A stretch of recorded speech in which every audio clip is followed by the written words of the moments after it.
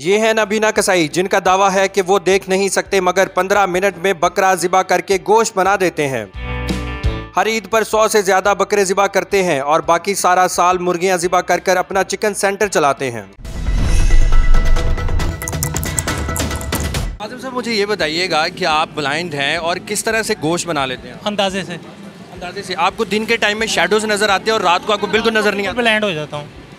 तो किस तरह से मुमकिन करते हैं कि इतना छोटा छोटा सा गोश्त बनाना? कभी हाथ नहीं कटा आपका? नहीं अल्लाह का शुक्र है कभी भी नहीं। अच्छा ये काम कब से कर रहे हैं आप? तकरीबन हो गए बीस साल हो गए मुझे। बीस साल हो गए आपको ये काम करते हुए।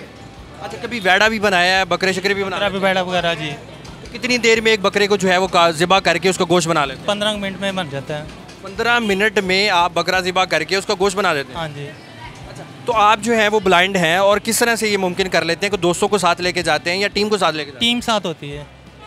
टीम टीम के साथ जाते हैं हाँ जी। अच्छा ये आपका मसला कब से है? मतलब आप बचपन से इसी तरह से ब्लाइंड है। मुझे तकरीबन हो गए पाँच छः साल हो गए एकदम ही ना पट्ठों का पीछे से श्रिंग हो गए उसकी वजह से ब्लैंड हो गया तो आप पहले शुरू से ये काम करते आ रहे ये काम करता आ रहा हूँ। रात को वैसे ब्लैंड हो जाता था। दिन में मुझे नज़र आता था रात को ब्लैंड हो जाता था। कभी कोई ऐसा वाक्य हुआ हो कि आपको कोई बकरा बनाने के लिए ले गया हो या बैल बनाने के लिए ले गया हो? तो आपके हाथ पे हाथ पे जो है वो कट शट लग गया हो या कुछ ऐसा मसला? नहीं नहीं अल्लाह का शुक्र कभी भी नहीं। आप ये मुर्गी बना रहे हैं और नाज़रीन आपको दिखाते हैं कि ये किस तरह से जो है वो इस गोश्त को जो है वो छोटा छोटा बनाते हैं और बड़ी तरतीब के साथ जो है वो इस गोश्त को बनाते हैं और हालाँकि इनको नज़र नहीं आता फिर भी ये बड़ा बेहतरीन किस्म का जो है वो गोश्त बनाते हैं। आज़म साहब ये इतना छोटा छोटा जो आप गोश्त बना रहे हैं ये आपने किसी से सीखा था? जी पहले सीखा था अब मतलब कि आदत हो गई। अंदाजे से बना लेते हैं आप। ये देख ले देखूँगा भी नहीं बनाना शुरू कर दूँगा। अच्छा आप कीमा भी बना रहे हैं। हाँ मैंने देखा कि बड़ा खूबसूरत आप कीमा बनाते हैं। तो कीमा बनाते वक्त कभी मशीन में हाथ नहीं आया आपका? नहीं नहीं अल्लाह का शुक्र कभी भी नहीं ये अल्लाह की रहमत है। अगर आपको आ, कोई ईद पे ऑर्डर मिलता है बकरा बनाने का वेड़ा बनाने का तो जाएँगे आप? जी। वेड़े का कित, कितना आप ले लेते हैं? कितने पैसे लेते हैं? बकरे के कितने टीम का हिसाब है। टीम का जो सा मेन होते हैं ना हेड वो लेते हैं। बकरे का वो दस हज़ार ले रहे हैं। वेड़े का वो ले रहे हैं तीस हज़ार और ऊँट का ले रहे हैं साठ हज़ार। जी। अच्छा मुझे ये बताएँ कि आप जो है कभी किसी के घर गए हो गोश्त बनाने के लिए वैड़ा या बकरा बनाने के लिए गए हो तो उन्होंने कहा हो कि नहीं आज़म साहब आपसे तो काम होगा नहीं आपको तो नज़र ही नहीं आता। उन्होंने कहा मैं कहा आप काम करवा के देखें उन्होंने देखा है उन्होंने क्या करते रहे फिर काम। अच्छा तुम आज जीतते हैं पहले सबसे पहले। अच्छा वैड़े को या ऊँट को गिराना खासा मुश्किल होता है तो आप किस तरह से गिराते हैं? जी वो ज़िबा वो वो हेड करते हैं बकाया गोश्त वगैरह मैं बना लेता हूँ। वो ये है ना कि इतना पहले था कि मैं कर लेता था अब वो ज़रा ज़्यादा आइस वीक हो गई है। पहले आप कर लेते थे गिरा भी लेते गिरा भी लेता था। अब आपके हेड गिराते हैं और आप जो है वो उसका गोश्त बनाते गोश्त बनाता हूँ। ठीक है तो कुर्बानी का सीज़न ही लगाते हैं या फिर रेगुलर काम? दुकान पे रेगुलर दुकान पे आता हूँ। कितने बजे आते हैं दुकान पे और सारा दिन कितना काम करते मैं सुबह आ जाता हूँ छः बजे आता हूँ छः बजे वापस चला जाता हूँ। सुबह के टाइम छः बजे आते हैं और शाम को जो है वो आप छः बजे वापस चले वापस चला जाता अच्छा बच्चे हैं आपके? हूँ जी। बच्चे नॉर्मल हैं या वो भी आपकी नहीं नहीं वो नॉर्मल है। स्कूल जा रहे हैं बच्चे? हाँ जी।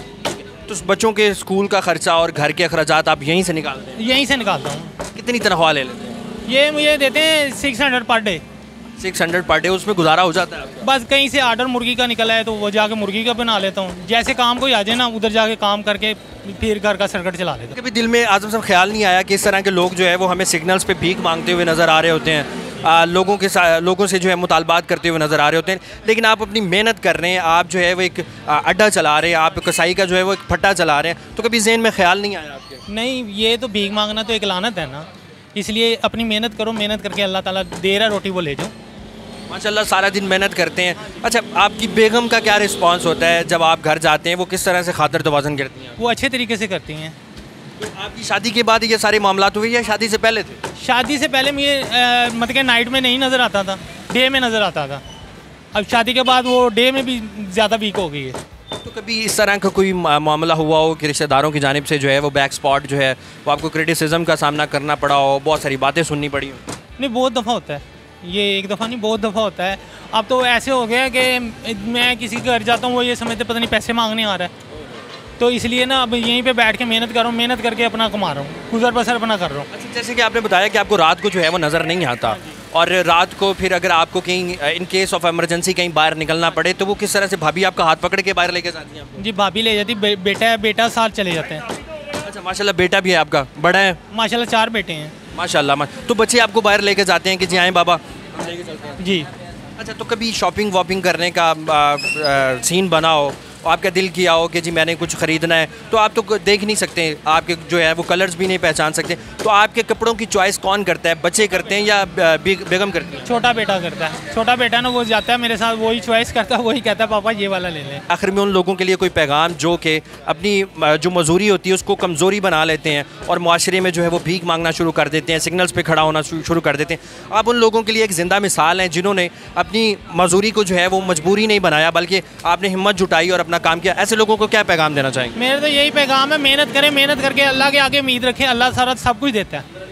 तो आप मांगेंगे एक दफ़ा दे देंगे दो दफ़ा दे देंगे अल्लाह सारी ज़िंदगी देगा। अल्लाह के मुताज रहें बंदे के मुताज ना हो। नाजरीन हमारे साथ मौजूद थे आज़म साहब जिन्होंने साबित कर दिया कि आपकी मजदूरी जो है वो आपकी कमज़ोरी नहीं हो सकती आप माजूर भी हैं लेकिन आप अगर हिम्मत जुटाएँ तो आप अजीम काम कर सकते हैं। इसकी ज़िंदा मिसाल आज़म साहब थे। इसी के साथ मुझे दीजिएगा इजाज़त अल्लाह निगवान